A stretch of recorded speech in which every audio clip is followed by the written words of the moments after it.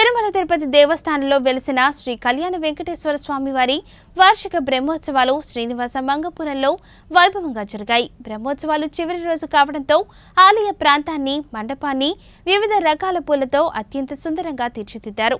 ఆలయంలో ప్రత్యేక పూజలు నిర్వహించారు. ఈ కార్యక్రమానికి తిలకించేందుకు పెద్ద ఎత్తున భక్తులు పాల్గొన్నారు.